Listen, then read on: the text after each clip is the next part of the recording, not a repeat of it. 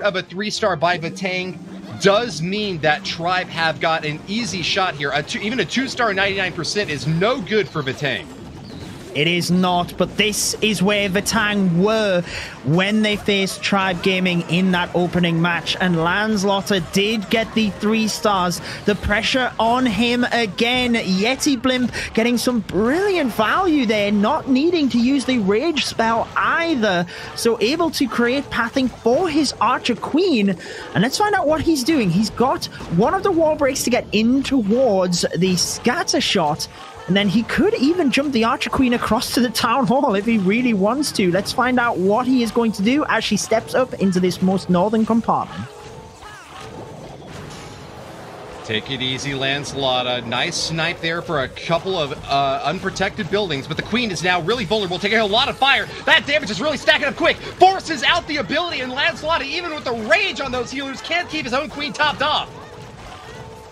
Ooh, the ability going off is not the worst thing, but he would have liked that for over by the town hall area. You see, he's charging towards an expo that is firing at the queen, another expo to the left of the town hall. You have the clan castle coming out, the grand warden statue. There is so much damage. The poison moves in. The archer queen has to get quite far through here in order to make sure he can secure that town hall. Now, the barbarian king will move on in to try and absorbs some of the damage from the Archer Queen, starts the Laloon to the left-hand side, knows that time is ticking, and he needs the three-star, so he cannot take any risks here, Woody. I think the second rage in this queen charge was really overcommitted, didn't hardly help out at all against those CC troops, and he is going to really be wishing that he had extra two spell capacity for this back end.